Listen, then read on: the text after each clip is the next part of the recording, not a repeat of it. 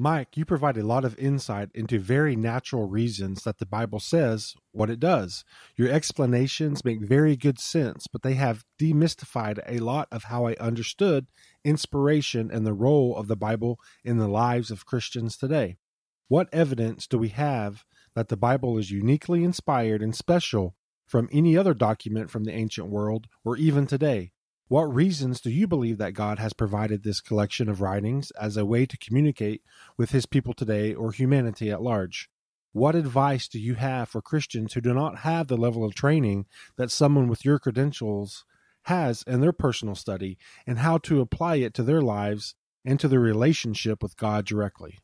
Well, I, I would like to think that what I do is eh, the Joe used the word demystified you know, I, I, I hope that doesn't mean de supernaturalized because I take a very supernatural view of inspiration.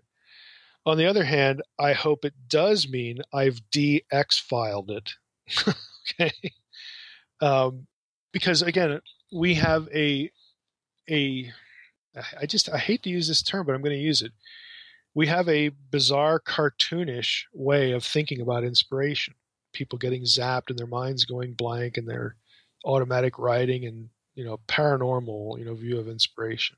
Okay that i do want to debunk because it needs to be debunked because it it sets up there are so many ways that that can be undermined and if people are thinking that's what inspiration means then their faith is going to be harmed as soon as you show them how these those ideas those approaches don't work with what you actually find in the biblical text. And for maybe new listeners who are kind of you know wondering what in the world does he mean if you go to the naked bible podcast go up to the start here tab at the top and one of the videos is how mike approaches scripture. I recommend watching that because that'll tell you just exactly what i mean by what i just said. But you know, so I'm I'm I'm focusing here a little bit on the, on the word demystified. Again, I, I hope it means I've de-X filed it, but it shouldn't mean that I've de-supernaturalized it. You know, what, what do you? How do you think the inspiration process worked? Again, I have recommended in the past that how we need to think about this is we need to think about providence. We need to think our, our God needs to be bigger and, and frankly less cartoonish and bizarre. Inspiration means that God, you know, in his omniscience, knew that he wanted things written down for posterity. And he knew who he wanted to do that.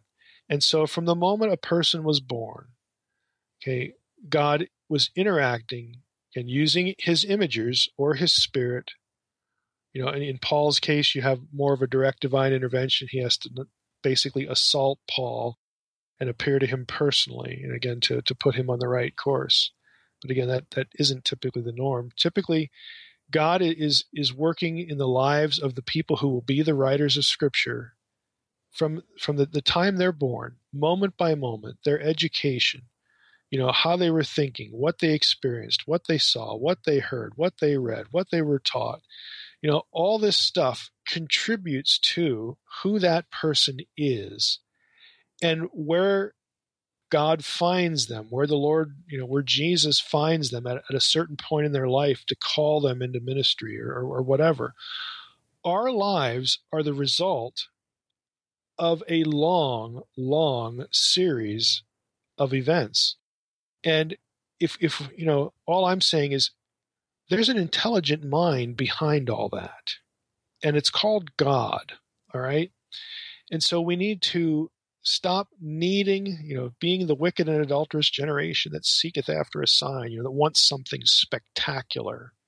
Okay, God doesn't often work with the spectacular, but that doesn't mean God is not at work. God is constantly at work and it's it's this providential process of bringing a person to the right time, the right place, the right occasion, the right moment, so that when they are prompted to write something down, they have been prepared for that every step of the way. They are the perfect choice for what God wants written down. And you know there are many hands that will will never know their names that contribute to this this thing we call the Bible. You know, at, various stages of how it was put together as a, as a totality that is not non supernaturalistic. That is supernatural at every step of the way. What it doesn't do, though, is divorce humanity from the process. And what I'm suggesting is if you divorce humanity from the process of inspiration, you undermine the doctrine and make it vulnerable to criticism. Again, because the cartoonish approaches, the automatic writing, the downloading, the mind dumping of every word and syllable is just demonstrably assailable. And that's why, again, I, I, I go after the, the X Files view of inspiration. But I don't want people to think that that, that leaves you with a non supernaturalistic thing. It doesn't. Again, the way I look at Scripture is is what we what I'm you know holding on my lap or looking at on my screen. That are, that is the result of countless acts of the providence of God and the oversight of God to make sure that the final product was what God wanted. Period. God was happy with the result. Now, you know, we could talk about things within the content that for me distinguish it from everything else. You know, the easy ones are things like fulfilled prophecy. Okay, th- that takes a divine mind, okay, to make all that work out. And it's not it's not just seeing the future.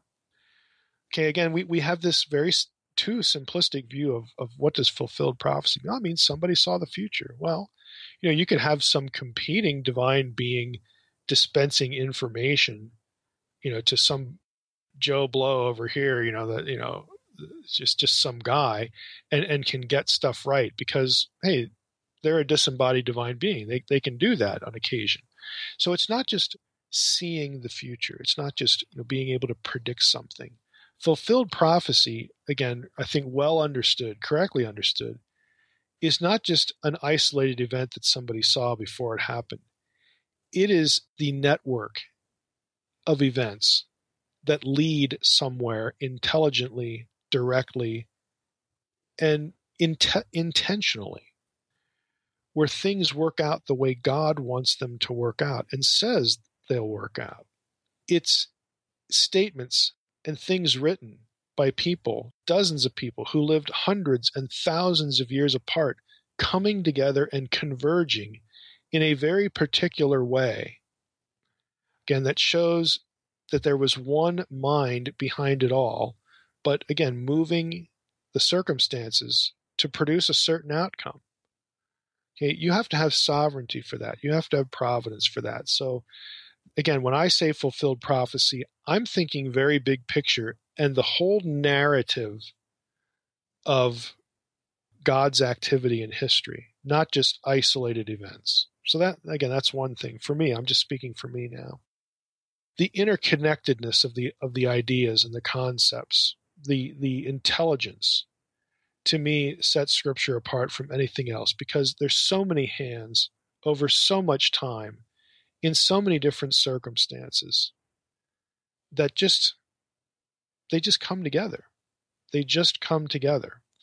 Uh, again i think god you know that to me that says we have a really big god to be able to pull that off. That's not just something that's not a happenstance that could happen without divine activity, divine, you know, supervision, so to speak.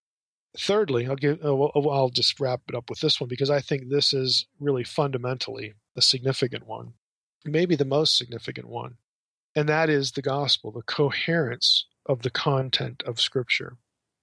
Okay, what what, what is Scripture about? You know, ultimately, it's about you know who God is, what God wants to do, why why we're here, all that sort of stuff. Again, the big picture stuff I talk about in Unseen Realm.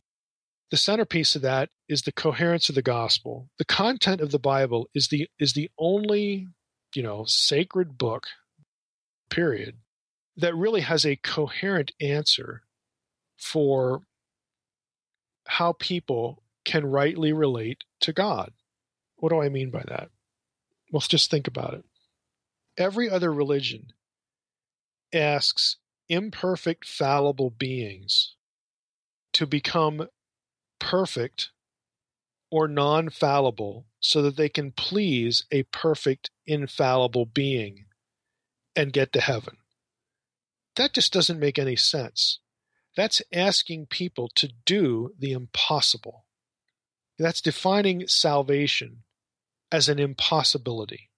and saying, "Well, tough. That that's what you got to do." Okay, you you want to you want to you know be in heaven with a perfect, holy God. Well, you better be perfect and holy. Do the best you can. In other words, all of the other systems are somehow works oriented. They they somehow put the onus on the person, on the hopeful participant, on the worshiper, whatever, whatever you want to call the the person who wants to get get to heaven. Every other system makes that individual accountable for achieving this final end. And to do that, they have to please a holy, perfect being. But they're not holy and they're imperfect, in fact, hopelessly imperfect. So, how does that make any sense? Well, to me, it doesn't make any sense. What we see in Scripture, we have the only alternative, and that is the perfect holy God wants to be with people badly enough that he will solve their problem for them. And just ask them to believe that he did. It, it, it's, the, it's the only approach that offers any hope and any coherence. It, it takes people for exactly what they are and doesn't forget what they are. In fact, it, it confronts people with what they are, that they need God to act on their behalf to take care of an insurmountable problem. Okay, their sin, their offense against God, overcoming death, the resurrection. Okay, none of these things are possible to the human being. But all other religions, again, have it just it make effort either central or a really, really, really important part of, again, getting to heaven, you know, the, the positive afterlife. And that just makes zero sense when you really think about it. So when I look at, at, at scripture, again, I can look at, at, you know, all these other things that, you know, uh, about what it is, but I also want to include what it actually says. And to me, th- those things, and I've, I've only mentioned three of them, but to me, those, those three things are fundamentally what separates this thing we call the Bible from anything else.